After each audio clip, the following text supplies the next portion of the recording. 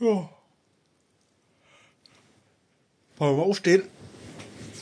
Ich habe irgendwie meine Schlafgewohnheit ein bisschen umgestellt. Ich gehe mir letzte Zeit ein bisschen später ins Bett. Aber bleibe ich ein bisschen länger im Bett. Zur Zeit geht das Gott sei Dank noch. Gott sei Dank. Äh, bis das Attest da ist. Vom Arzt.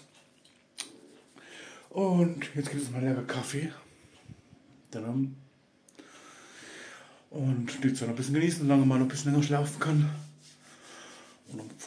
Fünf oder was war ich mal wach, wäre fast aus dem Bett gefallen, irgendwas habe ich gehört oder irgendwas ist gewesen. Und bis später.